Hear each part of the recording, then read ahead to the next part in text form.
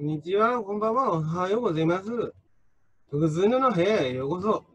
まあ、これもな、あのメインチャンネルであげようか、サードチャンネルであげようか迷ったんだけども、あの、これはメインチャンネルであげても必要な人たくさんいるんでねえのと思って、メインチャンネルであげる。で、おらさっきさ、マイナポイント差っっていうものを登録しただよ。なかなマイナンバーカード？っていうのが国民、国民一人一人に配られたでねえの。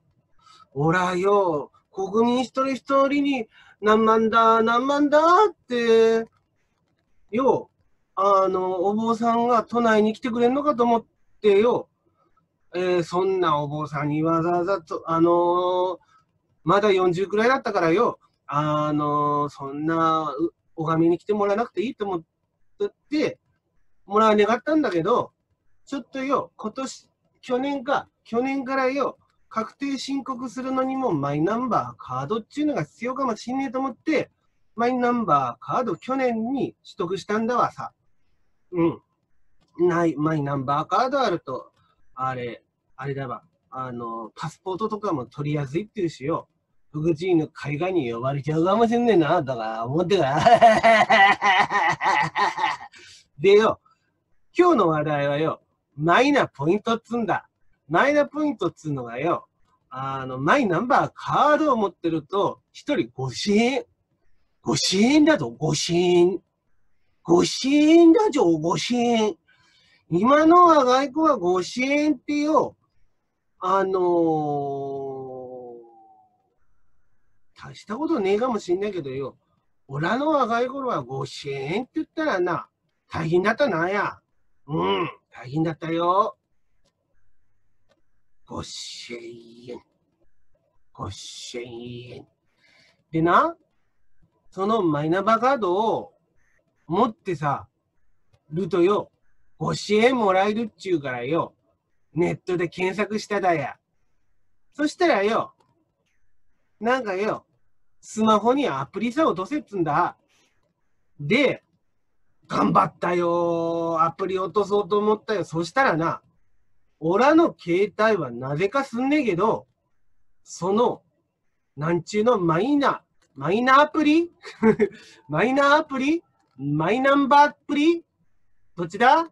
えっ、ー、と、マイナポイントアプリが、に、を、えっ、ー、と、ゴーゴのプレイ2の柄ダウンロードしたら、マイナポイントアプリで、このアプリはお使いのデバイスには対応してねって言われたんだ。なぜ対応してねって言われたんだかわかんねえんだけどよ。あの、だってよ、なんでだ、なんでダメだったかんだな。わかんねえな。でよ、ダメだっち言われたから、どうすればいいんだと思ったら、近所のローソンかセブンイレブンさえ行けば、マイナポイント、な、あのマイナンバーカードからマイナポイントにもらえるっちゅうからよ。行ったらよ。行ったけど大変だったよ。セブンイレブンでよ。端末操作してもよ。全然先さ進まねえんだ。次にってボタンを押してもよ。固まってよ。1分か2分ぐらい待たねえと次の画面に行かねえんだ。で、その後にすっげえ苦労したところをよ。押せんだな。あの、マイナカード、マイナンバーカード持って、えっ、ー、と、読み取ってもらった後、最後によ、あの、まあ、 PayPay と紐付けたんだけど、 PayPay と紐付けんのに、なんかよ、難しいことさ、聞いてくんだよ。なんかのさ、アプリ、なんとか ID を入力しろとか、なんだこりゃと思って考えてるうちに画面が真っ白になっちまってよ。で、また最初に戻って最初から入力しなくちゃいけなくなったんだ。で、結局な、この画面のところで、見えねえが、見えねえな、見えねえから、あの、ペイペイを立ち上げたら、マイナポイントっていうのができるから、マイナポイントっていうのを選んだとよ、その後によ、なんか、あの、その他の方法でもらうっていうところを押さねえと、決済サービスとセキュリティコードっていうのが出てこねえの。いい？覚えといて。あのよ、スマホにダウンロード、これよ、ソニー製のアンドロイドなんだけどよ、なんかアップルみたいなんだな。あのよ、覚えといて覚えといて。スマホにダウンロードしようと思ったけど、なぜかスマホにアプリがダウンロードできなかった。で、PayPay に紐付けようと思って、けど、決済のなんとかかんとかがどうのこうのでよくわかんねえこと聞かれてきて、そんなアイデアどっから出すんだわかんねえぞと思ったら、このマイナポイントって言って、その他の登録方法っていうのを選ぶと、あの、あの決済 ID とか、あの、バあのセキュリティコードとか教えてくれんだ。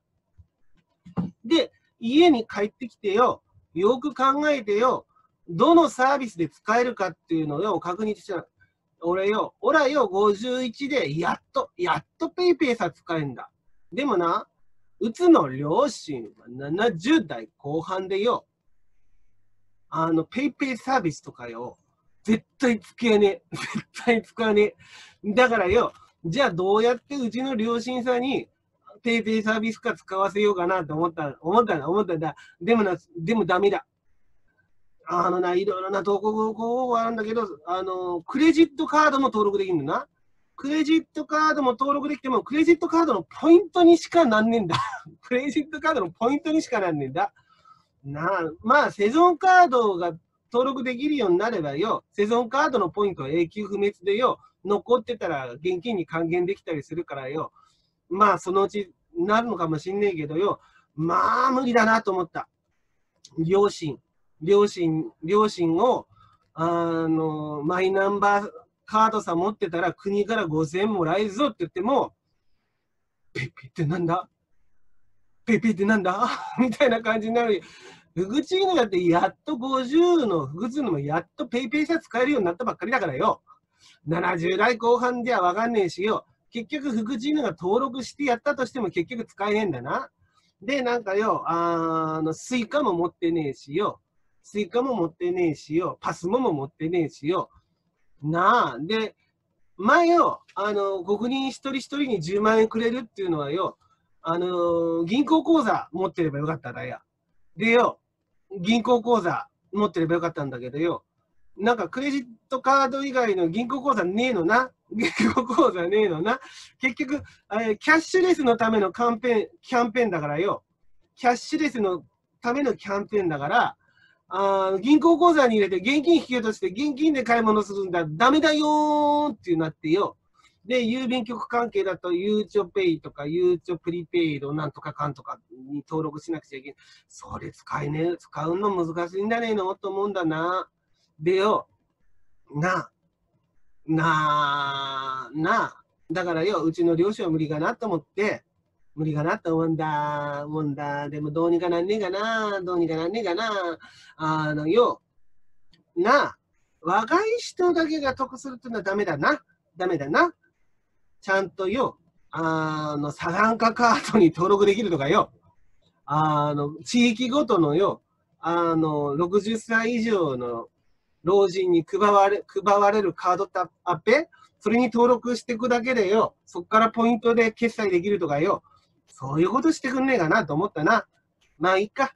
うーん。ということで、フグブーのは、あの、マイナンバー、マイナンバンダーカードを持って、えっ、ー、と、セブンイレブンさ行って、セブンイレブンさで、ラ、 PayPay か、 PayPay の紐付けをして、で、1日くらいかかるんだけど、1日くらいしたら、グフー、グフー、5000円、5000円、5000円さ、もらえた。もらえたな。もらえたよなあ。ということで、ということで、まだな、もうみんな知ってるかもしんないけど、あのー、ちょっと大変かもしんないけど、あの、一番、あの、若い人はアプリ、最新型の携帯でとかスマホ持ってる人はアプリダウンロードしてピピピのパーでいけんだけどよ、あの、福神犬みたいに海外スマホとかよ、使ってるとよ、アプリダウンロードできねえとか言われるからよ。そしたらよ、あの、コンビニさ行くんだ。まあ、コンビニさ行った後、いろいろと紐付けさなんないけど、でも、あの、あ PayPay とかそういうよ、キャッシュレスサービスを使ってねえと、使ってねえと、結局は登録できねえってことだ。な。そんだばな。最後までご視聴ありがとういいねボタンとチャンネル登録お願いね。それから SNS でシェア拡散大歓迎でよ